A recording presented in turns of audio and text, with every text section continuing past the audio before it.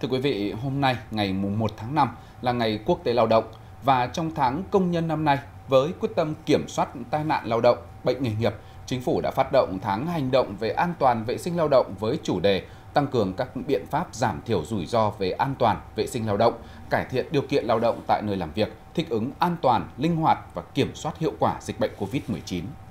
Mỗi năm có hàng trăm người thiệt mạng, hàng ngàn người thương tật vĩnh viễn vì tai nạn lao động. Hệ lụy từ tai nạn lao động không chỉ là gánh nặng cho xã hội, cho doanh nghiệp mà trước hết nó ảnh hưởng trực tiếp đến tính mạng, sức khỏe, đời sống hàng ngày của chính người lao động và những người thân trong gia đình. Anh Nguyễn Tiến Đồng hiện đang công tác tại đội quản lý vận hành lưới điện 110 kV của công ty điện lực Yên Bái. Do vi phạm về khoảng cách an toàn lưới điện, anh mất toàn bộ tay trái, bỏng nặng hai bên chân. Sau gần một năm phục hồi sức khỏe, anh phải chuyển công tác từ chỉ huy trực tiếp trạm 110 kV trở thành chuyên viên hành chính. Tôi xin ờ, có lời ờ, nhắn nhủ đến các ờ, đồng nghiệp hiện tại đang công tác là hãy nêu cao cái an toàn trong công việc hàng ngày vì vì an toàn là an toàn của cá nhân mình cũng là cái hạnh phúc bản thân và hạnh phúc của tất cả mọi người. Ngoài ngành điện, ngành than cũng là một trong những ngành có nguy cơ tai nạn lao động cao. Bụi than, không khí ngột ngạt, nguồn sáng duy nhất là từ ngọn đèn trên mũ. Bụng nước, cháy nổ khí là những nguy cơ mà người lao động ngành than luôn phải đối mặt. Mới đây nhất, ngày 16 tháng 4, tại khu vực lò Thượng Chéo số 27, khu Đồng Vong, thuộc phân xưởng khai thác đào lò K6, công ty than Uông Bí tại phường Trưng Vương, thành phố Uông Bí, tỉnh Quảng Ninh, một công nhân đã tử vong khi đang làm việc. Cái điều kiện làm việc ờ, công nhân khai thác hành than, nhất là trong ờ, hầm mỏ, thì không gian kín, chật hẹp và cái điều kiện là là nó rất là khó khăn trong cái môi trường ẩm ướt rồi sâu rồi phải thông gió và nguy cơ là, là vì là sản xuất trong hầm lò là đa số là thấp hơn mực nước biển. Cho cái nguy cơ mà bục nước ở trên mặt nước mặt và nước biển vào là rất là lớn. Cái nguy cơ thứ hai là trong các mỏ than ở đây là xuất hiện rất nhiều cái khí metan cho nên cái việc mà cháy nổ khí metan tan, cái, cái nguy cơ bục nước là những cái nguy cơ lớn nhất mà có thể gây ra thảm họa.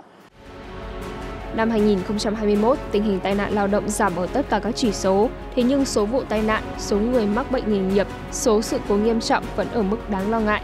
Năm 2021, toàn quốc xảy ra hơn 6.500 vụ tai nạn, khiến trên 6.600 người bị nạn, trong đó có 786 người chết, tổng chi phí cho tai nạn lao động và thiệt hại tài sản gần 4.000 tỷ đồng và 116.000 ngày công. Nhưng có lẽ đây không phải con số thực tế, rất nhiều lao động không có hợp đồng, không có bảo hiểm, chẳng may gặp tai nạn thì chỉ còn biết âm thầm chịu đựng. Đây là sự thiệt hại lớn khi phần lớn những người bị tai nạn lao động đều là những người trong độ tuổi lao động và là trụ cột của gia đình. Chúng ta lo tập trung phát triển kinh tế nhưng không được quên việc bảo đảm cho mọi người được làm việc trong những điều kiện an toàn, vệ sinh lao động, được chăm lo về đời sống, vật chất, tinh thần. Đây cũng chính là chuẩn mực chung trong phát triển bền vững và hội nhập quốc tế. Đó là phát biểu của Bộ trưởng Bộ Lao động Thương binh và Xã hội Đào Ngọc Dung tại lễ phát động tháng hành động về an toàn vệ sinh lao động và tháng công nhân 2022 diễn ra mới đây. Vì vậy, việc tăng cường các giải pháp nhằm giảm thiểu tình trạng tai nạn lao động phải trở thành mục tiêu của các doanh nghiệp, các cơ quan chức năng và tổ chức công đoàn. Trước đây, mỗi lần về kiểm tra tình trạng thiết bị điện hay sự cố tại đường dây 500 kV này, anh Nguyễn Văn Vinh đã phải di chuyển trên các địa hình hiểm trở và phải tiếp xúc thiết bị mang điện với điện từ trường lớn. Thế nhưng, từ khi sử dụng thiết bị bay không người lái, đứng từ xa, anh đã có thể quan sát, kiểm tra được tình hình mà không phải leo trèo nguy hiểm. Đặc biệt, thiết bị bay này còn được thiết kế để có thể đốt cháy những vật thể lạ vướng trên đường dây 500 kV như diều hay lá khô. Chúng tôi uh, sử dụng các uh, hệ thống điều khiển là có thể bay xa trong 1 km. Hiện tại thì chúng tôi uh, sử dụng để kiểm tra đường dây, uh, kiểm tra ngày, uh, kiểm tra kỹ thuật, truy tìm sự cố, kiểm tra các vùng bị cách biệt bởi mưa lũ. Chúng tôi thì quản lý từ Quảng Bình cho đến Con Tum. Mùa khô thì nắng nóng, còn mùa mưa bão thì thường xuyên xảy ra bão lụt. Chúng tôi cũng trang bị thêm một số các thiết bị như là thiết bị bay á, để cảnh báo cho chúng tôi biết được Hầu hết các trường hợp tử vong, thương tật và bệnh tật do nguyên nhân có liên quan tới công việc gây ra đều có thể phòng tránh được. Chính vì vậy, Chủ đề của tháng công nhân năm nay hướng tới việc tăng cường các biện pháp giảm thiểu rủi ro về an toàn vệ sinh lao động, cải thiện điều kiện lao động tại nơi làm việc, thích ứng an toàn, linh hoạt và kiểm soát hiệu quả dịch bệnh COVID-19. Đặt ra rất nhiều vấn đề cho công tác an toàn vệ sinh lao động, từ cái vấn đề tuyên truyền huấn luyện để làm sao cho những người lao động sau một thời gian dài ngừng sản xuất thì họ có đủ sức khỏe để họ tiếp tục làm việc trong cái chương trình phục hồi kinh tế và đặc biệt là cái lượng lao động mới khi bước vào các cái nơi làm việc mới thì rất cần những cái kiến thức và đào tạo kỹ năng an toàn để làm sao họ tránh được cái tai nạn. Nước ta đang trong bối cảnh đẩy mạnh các hoạt động sản xuất, kinh doanh. Những thách thức và nguy cơ trong công tác an toàn vệ sinh lao động cũng sẽ gia tăng. Điều này đòi hỏi các cấp chính quyền cần thực sự quan tâm, thúc đẩy thực hiện công tác an toàn vệ sinh lao động tại địa phương. Đặc biệt, chính quyền cấp cơ sở trong bố trí nguồn lực về nhân sự, tài chính cho triển khai công tác an toàn lao động.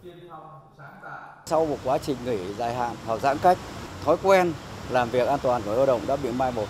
Rồi cái việc mà máy móc thiết bị là cũng ngừng trệ à, khi vận hành lại là rất dễ xảy ra các sự cố tai nạn. Cho nên là cái việc mà sau cái đợt này thì bắt đầu chuẩn bị vào thích ứng và tăng tốc thì đặc biệt là cái việc là à, kiểm tra trước cả về sức khỏe cho người lao động về điều kiện lao động kiểm tra trang máy thiết bị máy móc là hết sức cần thiết. Trước hết là chúng ta ngăn ngừa giảm cái rủi ro về tai nạn lao động. Và ngăn ngừa cái tai nạn lao động và bệnh nghề nghiệp giúp cho cái chăm sóc sức khỏe của người lao động tốt hơn. Và từ đấy mới nâng cao cái hiệu quả sản xuất kinh doanh. Hiến pháp năm 2013 quy định về quyền cơ bản của người lao động được làm việc bảo đảm an toàn và sức khỏe tại nơi làm việc. Vì vậy, việc đẩy mạnh các biện pháp ngăn ngừa tai nạn lao động không chỉ thực hiện trong một tháng an toàn lao động mà phải thực hiện mọi lúc, mọi nơi. Nhất là trong giai đoạn này, an toàn lao động không chỉ giúp bảo vệ sức khỏe, tính mạng của người lao động, tài sản của doanh nghiệp mà còn góp phần khôi phục kinh tế.